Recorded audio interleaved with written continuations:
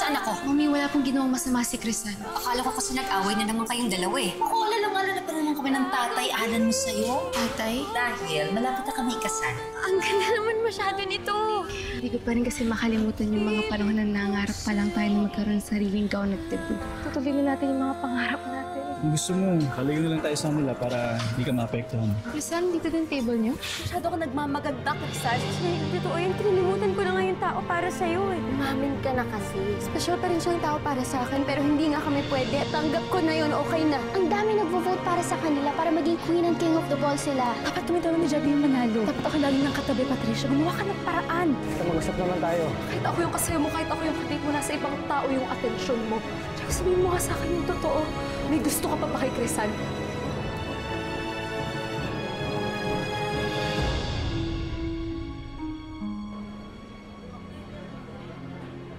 Ikaw may boyfriend na si Crisan. Ayaw niya na sa'yo. Kung ito ko, nagpapakatanga humahabol sa'yo. Ano bang meron si Crisan na wala ako, Diego? Ano kulang sa akin? Jessica, I'm sorry. I'm sorry. Marika, ilang beses ko na sinabi sa'yo na wala nga yan sa iniisip ko. Kung nahihirapan ka sa ginagawa natin, itigil na natin to. Kaya ko naman yung sarili ko. Sorry, hindi. I'm sorry. Hindi na maulit. Sorry. Sorry mo. Ah, Kailangan ko sabihin mo sa akin kung paano mo ako magugustuhan kasi Diego, gagawin ko lahat. Jessica, alam mo marami naman siyang iba eh. Maraming lalaki. Ayoko! Diego, noon hanggang ngayon, ikaw lang. Ikaw lang, Diego.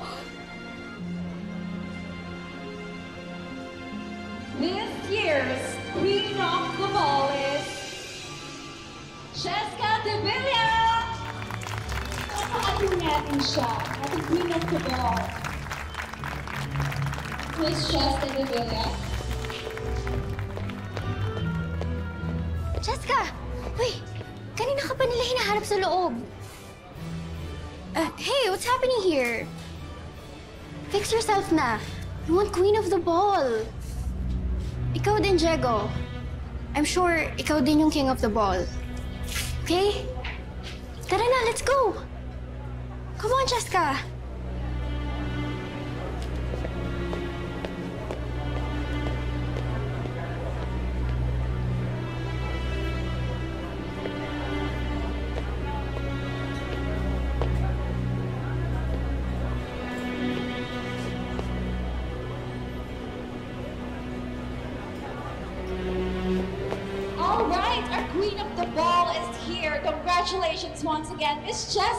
Villa.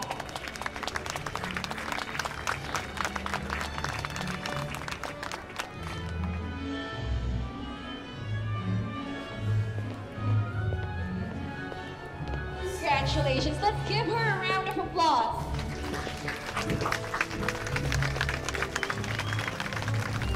And now, this year's King of the Ball is Michael Roy Claveria. Congrats, pare ko eh. Bakit ako? Ikaw nga yung pinakagwapo dito. Sige na, makit ka na dun. Sige, sige. bakit?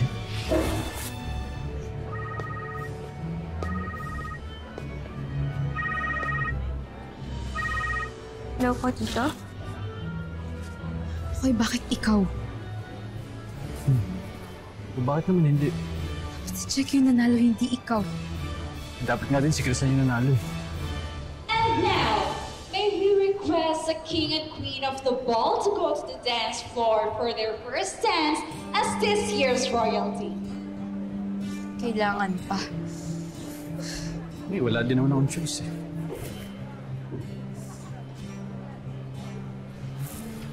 Baka mahulog ka.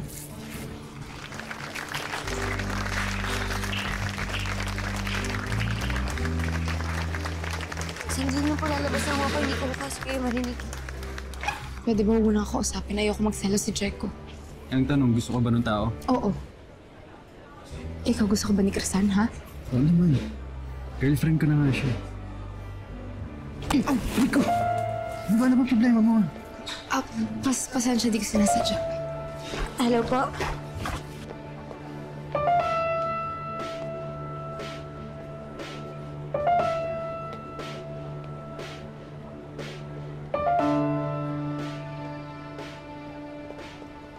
Opo, dito patapos na po yung ball. Uwi na rin ho ako maya-maya.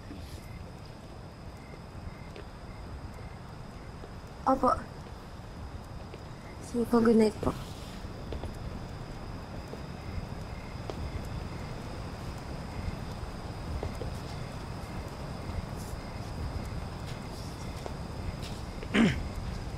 Krisan. Anong ginagawa mo dito? Papahangin sa... Dami lang. Ah, meron lang sa gusto kong sabihin sa'yo. Gusto lang kitang batiin ng happy birthday.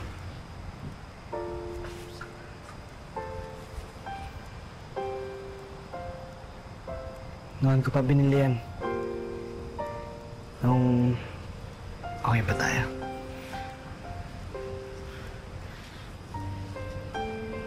Wala naman sigurong masama sa pagbibigay, di ba? Hindi mo naman napagpapawalang gawin yan, di ba? Gusto ka na ba?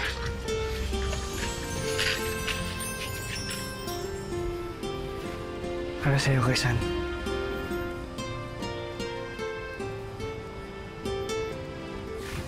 Kung hindi mo nagustuhan, hapo mo na. Ganun ba tingin mo sa akin?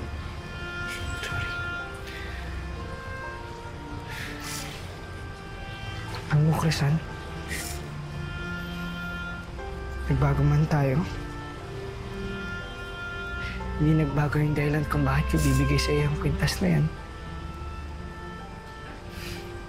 Lagi mong susuotin yan para yung pendant na yan lagi malapit sa puso mo. Para lagi mong matatandaan na minsan na nagkaroon ka ng isang Diego na naging malapit sa puso mo.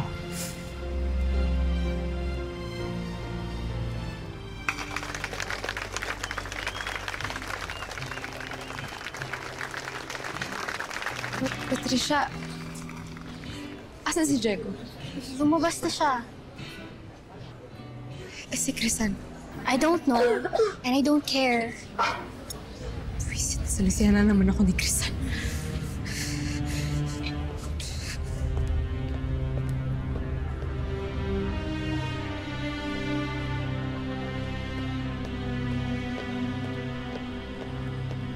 Salamat sa regalo mo, Diyo.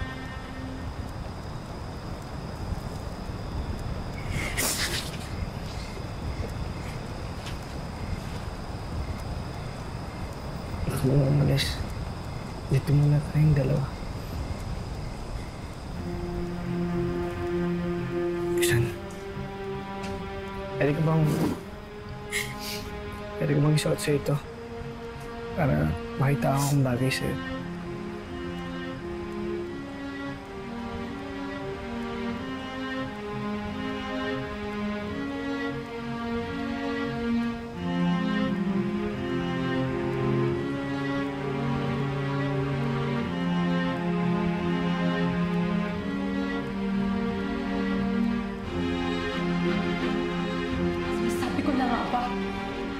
Diyo, umalis ka na. Umalis ka na kasi hinahanap ka na ni Jessica.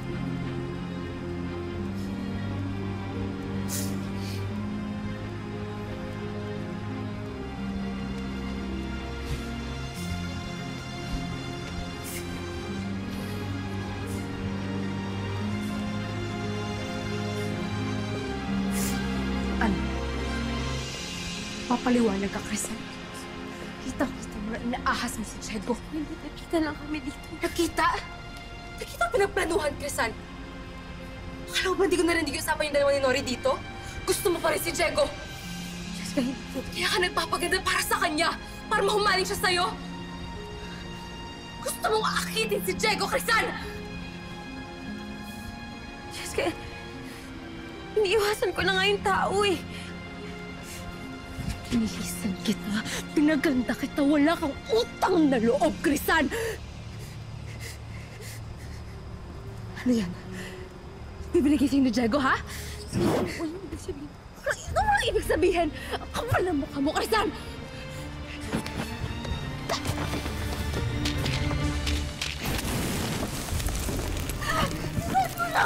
Tulungan, mo na ako sinaksak ng patat! Ibagawan, Krisan! Tama mo na yan, Krisan! Krisan! Tulong!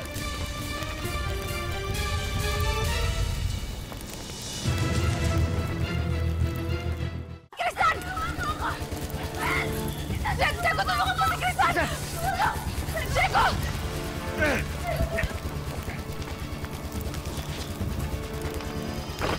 Krisan! Teka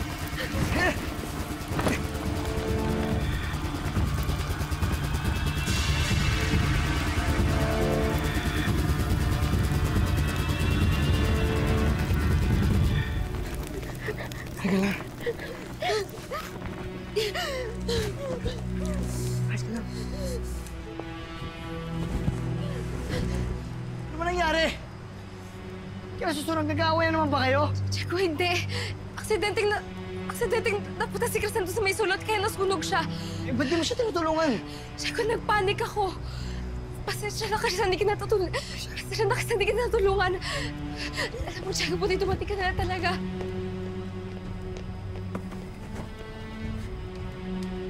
Krisan, tatandaan mo, hindi pa tayo tapos. Jolo Tembong, nasan si Kristan? Oh, nakasalubong namin dito eh. Eh si Diego, nasan kaya? Eh, saan ano? Okay ka lang ba? Wala bang paso? Wala bang sugat? Ha? Krisan. Ikaw, dad- dating ka sa ospital. Hindi, Diego. Pagpahingin mo natin si Krisan. Tsaka pagod na rin ako eh. Una na kami, Krisan, na. Kaya mo naman ata yan.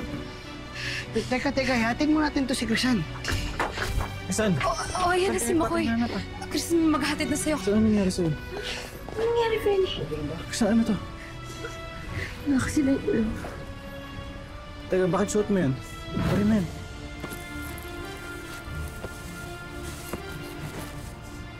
Diego, tara na, umisa tayo. Diego, tara na. Pero ako pa lang. Teka lang. Pare ka, ano pa talaga nangyari? Ba't nasunog yung damit mo?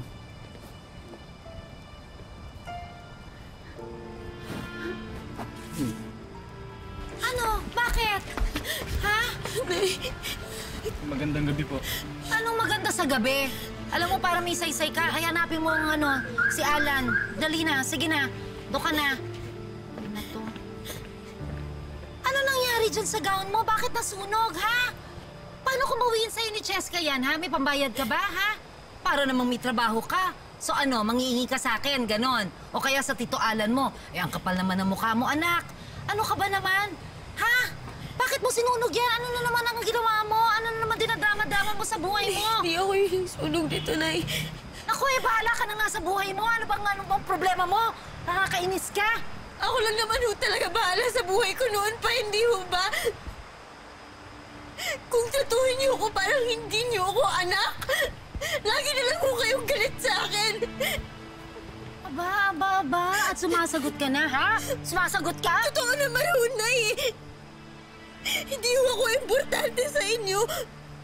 Hindi niyo nga ho naalala na birthday ko ngayon. Arte-arte nito pa drama-drama ka pa. Birthday mo lang? Ay, naku, Alan, oh. Ano to? Oo. Ano nangyari? Ay, ayun na nga. Ay, tignan mo, oh. Ang ginawa ng anak ko. Sinunog niya yung gown niya nang dahil lang sa gusto magpapansin. Krisan naman, ano ka ba naman? Huwag mo naman kami bigyan ng ganyan ng problema ng Tito Alan mo. Hindi ba ang ayos-ayos namin sa'yo, di ba? Imposibleng gawin ni Krisan yan. Eh yun na nga, kasi nagtatampo, nagmamaktol eh. Kasi nga, kasalanan ko rin naman, Alan. Nakalimutan ko kasi na wala sa isip ko na birthday pala niya ngayon. Birthday mo, Krisan? Hayaan nyo, sige. Ah, isi-celebrate natin ang birthday mo bukas. Promise ko yan. Krisan, kung merong problema, pag-usapan na lang natin, okay? Oh, yun na nga ang sabi ko eh. 'di ba? Pwede naman pag-usapan. Oh. Oh, halika na, tara na. Oo, sige ha. Anak, happy birthday! I love you! Ano ka pa yakap na? Tawag ka na magtampo, ha? Ayan. Tara na. Let's go. Diba? Tama ako. Traitor talaga yung kakambal mo. Galing mo kasi magpapaniwala. Sa tingin mo ba, ibibigay na si Diego ng ganun-ganun lang? Ayaw kang maging masaya ng kapatid mo. Hindi siya papayag na makuha mo ang meron siya.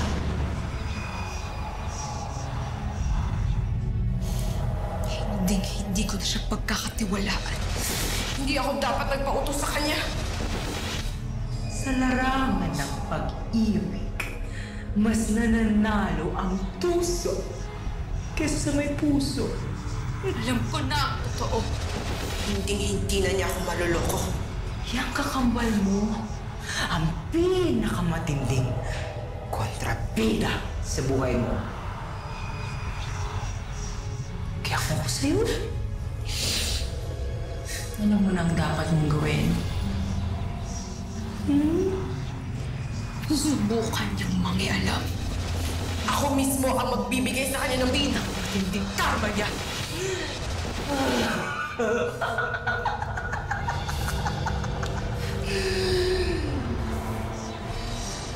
Buti nga nakita ko siya agad eh. Baka kung napaano na si Crisel nun. Pero di ba sinabi mo nandun si Cheska? Oo. Bakit wala siyang ginawa? Diego, tulungan mo si Crisan! Sa dating napunta si Crisan doon sa may sulot kaya nasunog siya. Eh, ba't di mo siya tinutulungan? Diego, nagpanik ako. Eh, nataranta daw siya, sabi niya. Hindi ka naniniwala, no? May kutob lang. Na hinayaan lang ni Cheska na masunog si Ate Crisan? Grabe yun. Hindi naman siguro ganun kasama yung ugali ni Cheska.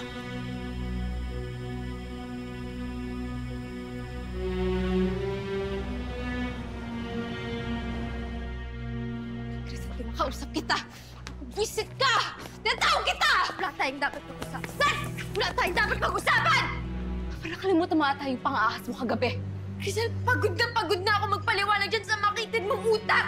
Pagod na pagod na ako maniwala na magbabago ka! Pagod na pagod na ako sa'yo! Crisan, nakala mo ba ikaw lang pagod, ha? Pagod na pagod na rin ako! Pagod na pagod na ako maniwala sa mga pangako mo kaya mo ako maging masaya! Pero gusto mo kayo lang dalawa ni Diego! Alam mo kasi masyado kang pabiktima eh! Akala mo kasi mukhang santa! Ang totoo, ikaw yung maitawan mo! Ikaw yung makitid ng utak! Ikaw yung masamang kaibigan! Ikaw yung masamang kapatid! Crisan! Tawan mo ako!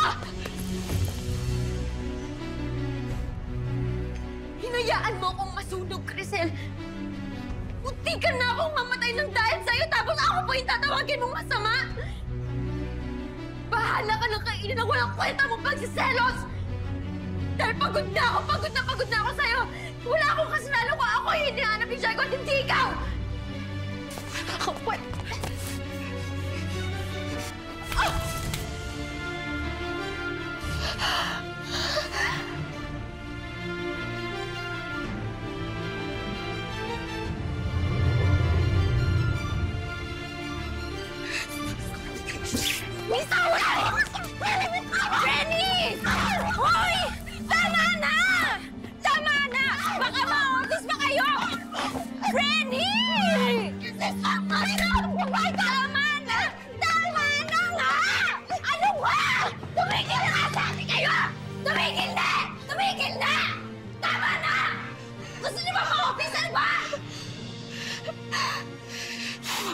kang kwentang kapatid!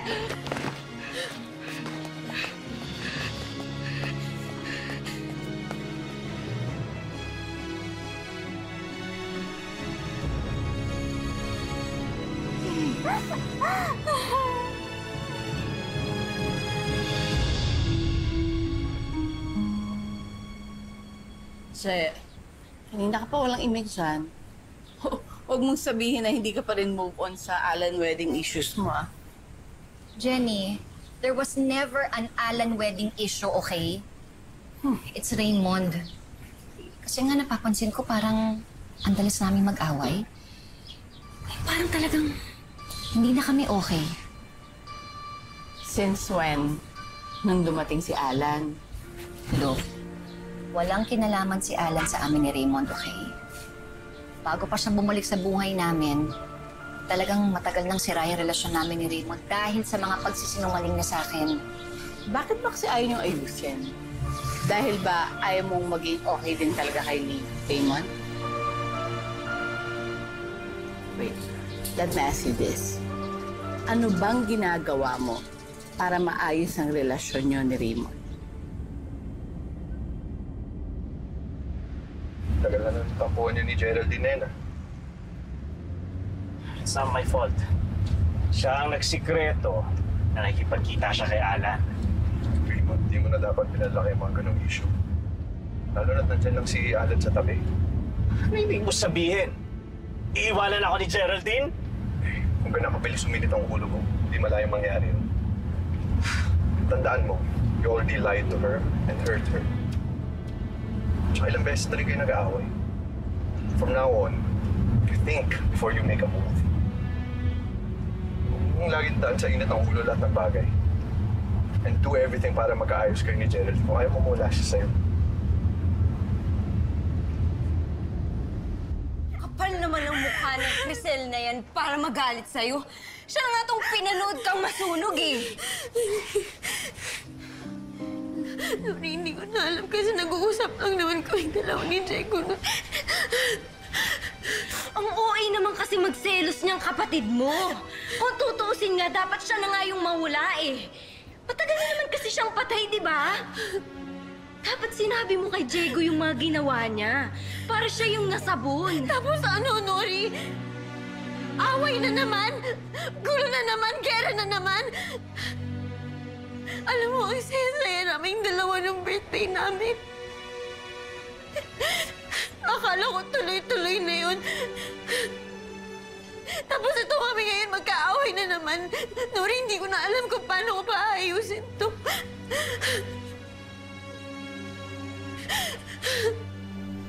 I know that Crisan isn't gonna give up Diego that easily. And I know na hindi rin naman siya sincere dun sa pagkakabati ninyo. Ikaw lang naman kasi. Oo na. Alam ko na mali na ako. Pero alam mo malandi talaga ang kasanay. May boyfriend na siya eh. Pero tuto na ako, Patricia. Sa susunod na masusunog ulit yung krisan na yan, hindi ko na talaga siya tititigan. Busa ko pa siya ng gas para masalo siyang lamunin ng apoy. Ano sabi mo?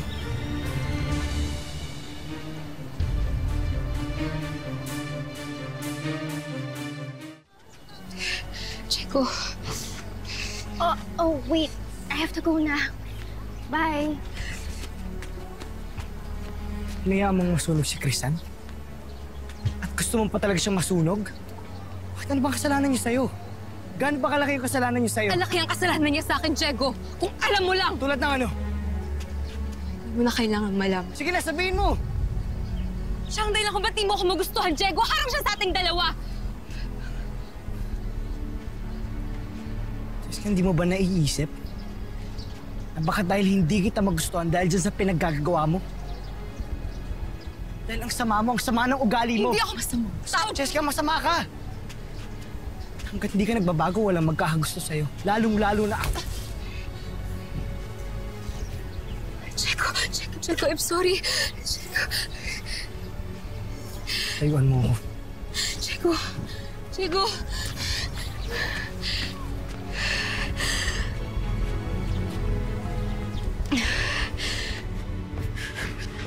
Crisan, mag-usap tayo. Diego, kailangan ko pang mag-aral. Sandali lang. Crisan, sandali lang. Alam ko na yung totoo. Pinabayaan ka ni Cheska kahapon, di ba? Sinabi ko na sa kanya yung totoo. Hindi ko siya magugustuhan dahil sa ugali niya. Na kailangan niyang baguhin yon para may magkagusto sa kanya. Crisan, alam ko na yung totoo. Maraming salamat sa pagsagip mo sa akin kahapon, pero pwede bang bumalik na tayo ulit sa normal? Mag-iwasan na tayo ulit. Bakit? Kasi ayoko na ng gulo. Ayoko na ng away, Diego. At si Cheska, gusto ka niya. Pwede bang sa kanya ka na lang para sa ikatatahimik ng lahat?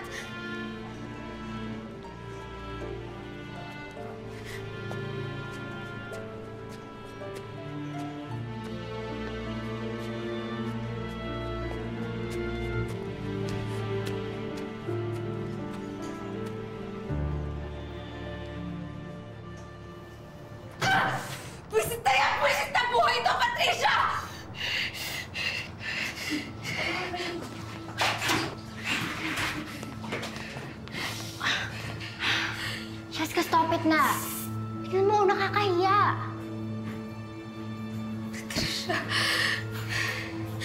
Ginawa ko lahat para magustuhan ako ni Diego. Pero puro si Crisan pa din. Bakit? Patricia, akala ko pag nabuhay na ako, ko na lahat ng gusto ko. Ano bang kulang sa akin? Ano bang kailangan ko gawin para makuha ko si Diego? What are you talking about?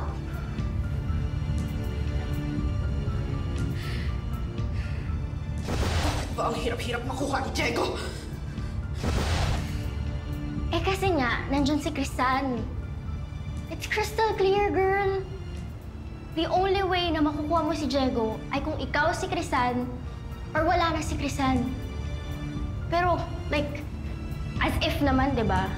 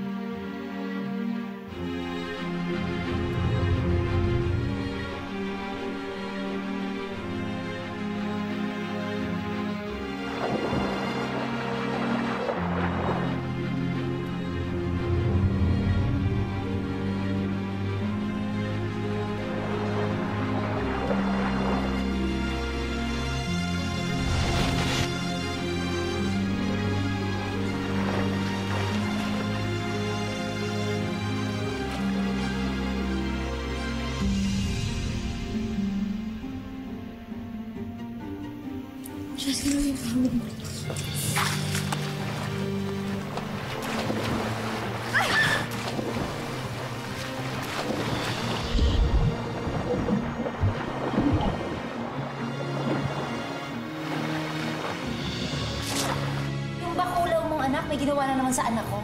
Ano ibig sabihin? Mahal ako ng nanay namin. Sakit siya kakamatay. Nakalimutan mo na ba yung dahilan kung bakit nais mong mabuhay? Ang lalaking nilimithi mo. Papaalam lang po sana ako sa inyo kung pwede ba mag-back out sa pag-tutor kay Cheska. Dapat sa'yo namatay na ako! Hindi